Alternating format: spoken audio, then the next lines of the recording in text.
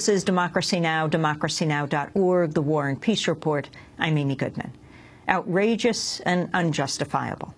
Those were the words used by the United Nations to condemn Israel after at least 20 Palestinian civilians died when a UN shelter was bombed in Gaza Wednesday.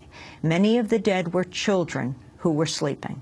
UN Secretary General Ban Ki-moon said all available evidence points to Israel being behind the attack. It was the sixth time a UN shelter had been bombed since the Israeli offensive in Gaza began 24 days ago. The UN said it had given the coordinates of the shelter to the Israeli military 17 times prior to the attack. According to the United Nations, more than 240,000 Palestinians are now staying in UN shelters in Gaza. Another 200,000 Palestinians have been displaced and are staying with other families. Hours after the attack, Christopher Gunness, the spokesperson for the United Nations Relief and Works Agency for Palestine refugees, broke down during an interview with Al Jazeera.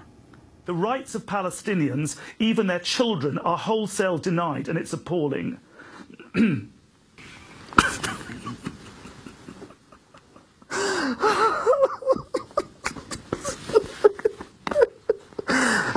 Joining us now is Christopher Gunness, the spokesperson for the United Nations Relief and Works Agency for Palestine Refugees, known as UNRWA.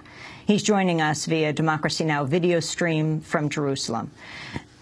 Chris, welcome back to, uh, to Democracy Now!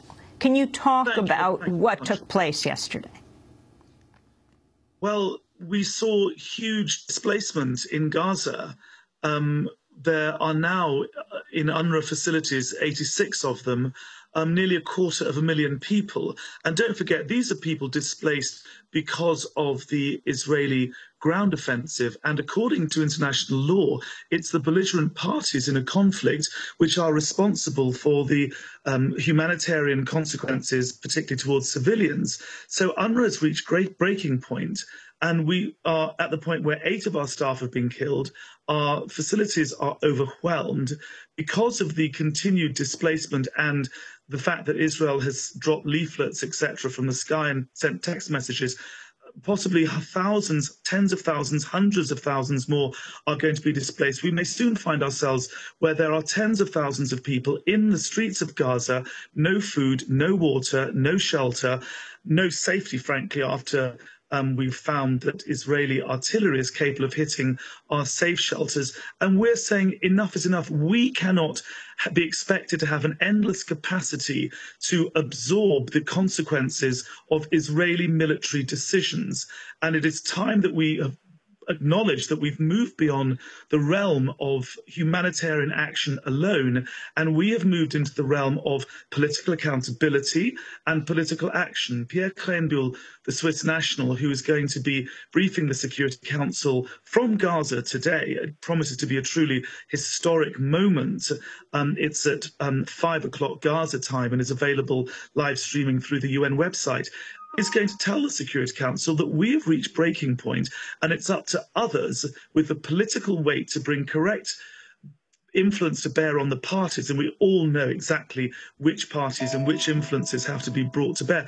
It's time for them to do so to end this conflict because the guns need to fall silent. Enough blood has been spilled, and that moment of ceasefire, of permanent ceasefire, will not come soon enough for the embattled people of Gaza, and by the way, for the six million civilians in Israel who've been terrorized by these appalling barrages of rockets that have been flying out. Uh, Chris Gunness, how does the UN know that it was Israel that attacked the uh, UN shelter, the school that the UN is using to house thousands of refugees?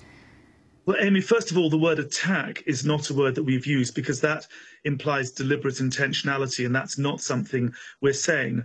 We're saying that an Israeli artillery shell struck the school, and there's a big difference there. Intentionality is the difference. We know that because we did crater analysis, we did trajectory analysis, we analysed the debris, um, including fragments that were found at the scene, and we are confident enough in our initial findings to have gone public and to have made a very strong condemnation of the serious violation of international law by Israeli forces. I think the very fact that a humanitarian organization is making such an accusation against one of the most powerful armies in the world, and certainly in the Middle East, I think says something about how certain of our facts we are. But, you know, let's have a proper investigation. There must be accountability. There must be transparency, transparency and proper reporting. The truth will come out. And, you know, we hope that with truth, as is often the case, will come justice. I want to turn to Mark Regev, the spokesperson for the Israeli Prime Minister Benjamin Netanyahu, who is responding to the bombing of the UN school in an interview with CNN's Wolf Blitzer. First of all, it's not clear to us that it was Israeli fire, even Israeli errant fire, that hit that UN facility. What we do know is the terrorists, uh, Hamas terrorists, were shooting at our forces and there was a firefight and they were shooting at us from the immediate vicinity of that UN uh, uh, school. Now, if our forces are in the field and being shot at, right, it's only natural that they would return fire to save their own lives. Israeli spokesperson Mark Regev also responded to the UN's finding that it was in fact Israeli shells which hit the school. First of all, we'll be interested to hear what they'll say and we'll cooperate in investigations if need be, because we'll be totally transparent. If it was our fault, if it was errant Israeli fire, And we will, of course, uh, come clean. In the past, we have admitted when we've made mistakes. But let's be clear, and here the Secretary General of the United Nations has been very clear.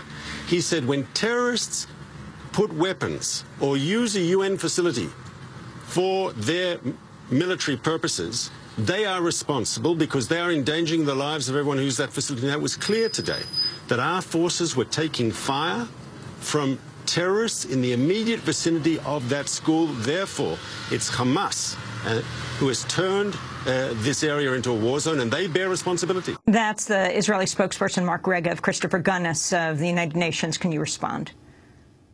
Well, here are some questions for Mr. Regev.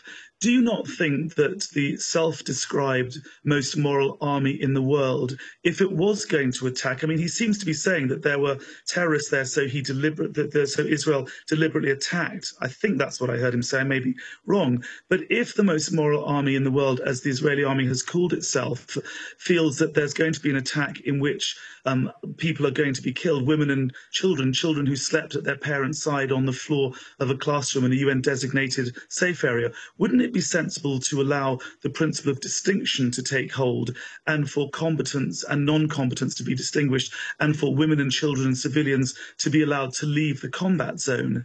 And what about the notion of proportionality? The fact that you're attacking um, militants near an UNRWA uh, compound um, and the risk is that you kill um, women and children in large numbers. Isn't that something which um, the rules of war dictate that the Israeli army should be cognizant of? The idea that because a few militants were near an UNRWA school somehow justifies um, artillery shell hitting that school and killing children sleeping by the sides of their parents seems to me, at any rate, as a citizen of the world and not necessarily an expert in international law, completely unconscionable and I think the very fact that we have seen the quite proper revulsion of the world, given the carnage that we saw, not just in Jabalia, but last Thursday in Beit Hanun, I think says something about the way that these arguments are stacking up. It's fine for Israeli spokespeople to say these things, but let us not forget, Amy, that our compound in January 2009 was struck by white phosphorus with a direct hit, where hundreds of people had taken refuge. And we heard similar apologies, protestations, um, you know, all sorts of, of words from Israeli spokespeople, including Mr. Regev, about how heart, heartbroken they were and how terrible this all was. And here we are five years later with exactly the same parties um, hitting directly UN safe areas, which are full of civilians. And, you know, one might also ask Mr. Regev about the pinpoint nature of these strikes, because if it is that um, nearly two thirds of these civilians are being struck in pinpoint strikes. One seriously has to wonder about the technology of the Israeli army and indeed the methodology behind their targeting techniques. Christopher Gunness, I want to thank you for being with us, spokesperson for the United Nations Relief and Works Agency for Palestine Refugees, known as UNRWA, speaking to us from Jerusalem. This is Democracy Now! When we come back, a leading voice of U.S. Jewry, Henry Siegman, part two of our conversation with the former head of the uh, American Jewish Congress. Stay with us.